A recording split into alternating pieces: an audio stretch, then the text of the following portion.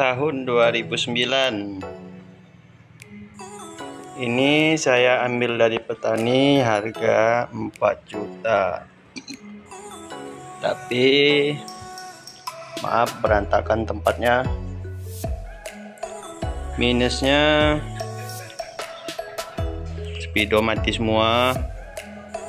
Ada yang pecah ya. Ini kita mau perbaikan stripping tradonya habis akinya mati. Ini bahan baru saya dapat kemarin. Harganya segitu dapat 4 juta dari petani tapi ya minusnya banyak. Seperti ini tidak ada ini saklar jauh dekatnya. Kontaknya ini minta diperbaikin. Ini.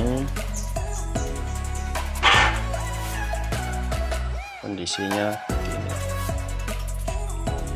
di harga 4 juta ya seperti ini kendala-kendalanya ini kalau daerah saya seperti ini ya harga pasarannya ini akinya nggak ada entah itu ininya rusak enggak speed.